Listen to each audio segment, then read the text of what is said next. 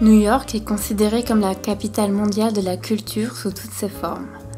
Elle doit cette richesse à l'incroyable créativité des artistes qui y séjournent ou qui y demeurent, mais également à la faveur de l'engagement financier des mécènes qui ont fait de la ville un véritable creuset artistique.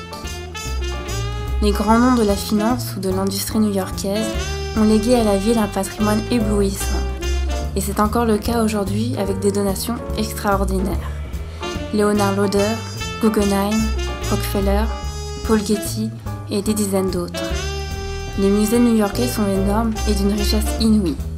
Imaginez la collection du Muséum d'histoire naturelle avec ses 36 millions de spécimens, le MoMA avec les plus grands noms de l'art contemporain, le Met et ses trésors et tant d'adresses tout aussi prestigieuses, le Guggenheim, le Whitney Museum pour l'art américain contemporain. New York, c'est l'avant-gardisme et c'est pour cette raison que les artistes du monde entier souhaitent venir créer sur place pour s'y faire remarquer.